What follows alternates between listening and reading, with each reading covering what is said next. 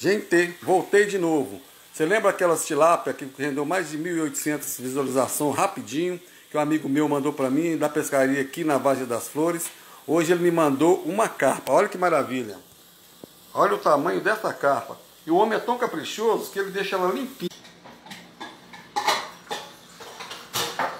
Olha, olha aí para você ver.